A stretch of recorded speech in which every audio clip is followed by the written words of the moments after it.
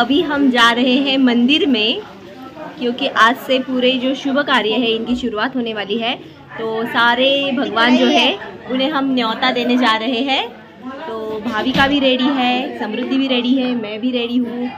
बड़ी माँ बड़ी माँ चिढ़ गई है तो अभी जाना पड़ेगा।